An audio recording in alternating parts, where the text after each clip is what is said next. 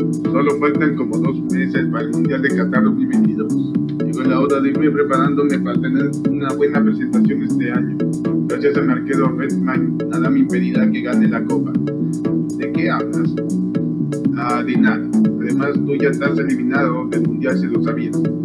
Ya lo sé, pero yo le supe algo. La verdad, quedarme fuera del Mundial fue lo mejor que me ha pasado en mi vida. ¿A qué te refieres?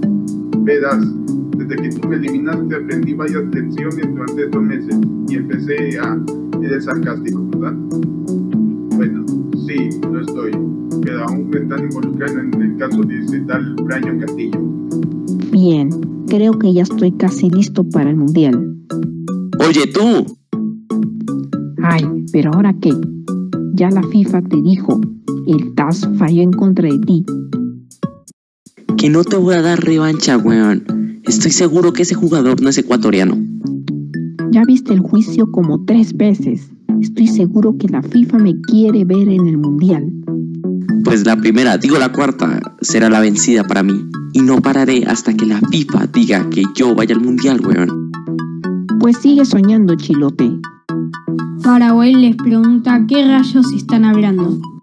Nada, conche tu madre, aquí te- a ti que te interesa. Así que vete.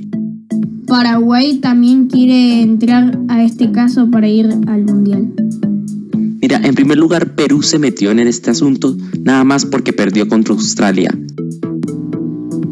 Así que entiendes ahora. Ah, no, no entendí. Oh, rayos, no importa. A seguir apelando al TAS. Sabes que si ganas el juicio te vas a enfrentar con Holanda y Senegal, ¿verdad? Pero si yo le pediré a la FIFA que me ponga en el grupo C y a ti que te mande al grupo A. Pero si también está Qatar y ambos estamos en la misma confederación. Ah, eso no lo había pensado. Oigan, ¿qué? No, jajajaja, una mentira, iba a decirles algo.